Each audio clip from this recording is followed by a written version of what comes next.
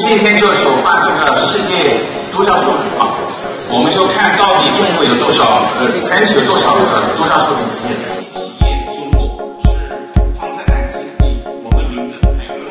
如果你开始做什么行业，这些多销数的掌门人四十岁平均的创业信念是这样的，但是我现在有信心的好吧？中国今年也是一个第一次是一个元年，超过了美国。这是我们今天正式发布，所以我们找到了二百零六个多家数据企业在美国的，呃，在中国的，而在中呃，在美国的是二百零三。更多精彩尽在中国新闻网客户端。